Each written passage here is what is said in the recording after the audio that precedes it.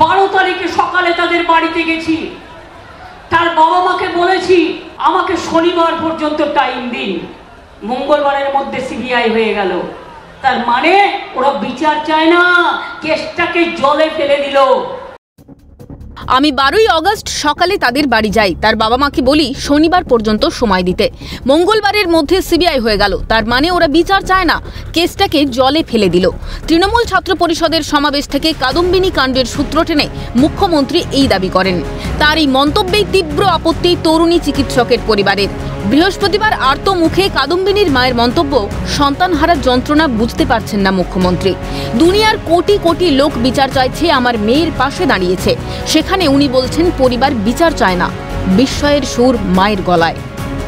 উনি যেটা কালকে বলেছেন, ওটা আমার ভালো লাগেনি। পরি- পরিবার চায় না বিচার। এটা কি, আমার মেয়ে চলে গেছে, আমি বিচার চাইব না? দুনিয়ার কোটি কোটি লোক বিচার চাইছে আর পরিবার দুনিয়ার। কোটি কোটি বিশ্ব আমার মেয়ের পাশে দাঁড়িয়েছে তারা এত আন্দোলন করছে এবং আমরা তাদের আন্দোলনকে সমর্থন করছি।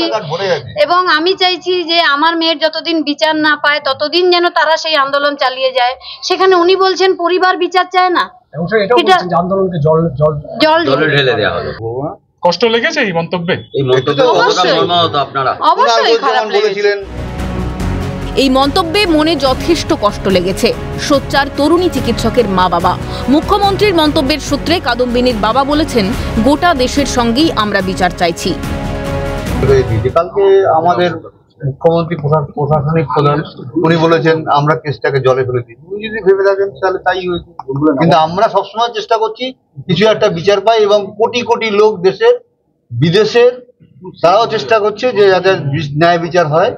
আমরা যারা যারা এই আন্দোলন করছে, সব সময় তাদের পাশে আছি। যে কোনো রকম সহযোগিতা তাদের যদি আমাদের পক্ষ থেকে সম্ভব হয়, আমরা অবশ্যই করব। তারা আমাদের সঙ্গে সহযোগিতা করছে এবং সংবাদ মাধ্যমও আমাদের সঙ্গে বিষয়টাকে আরও তুলে ধরার চেষ্টা করছে বারবার করে। তার জন্য সবাইকে আমি ধন্যবাদ। বুধবার মুখ্যমন্ত্রীর করা ওরা বিচার চায় না, কেসটা জলে ফেলে দিয়েছে মন্তব্যের জোরালো প্রতিবাদ কাদম্বিনীর মা এবং বাবার। সংবাদ মাধ্যমের সামনে শুধুই মেয়ের বিচারের দাবিতে সরব কাদম্বিনীর পরিবার। Calcutta news.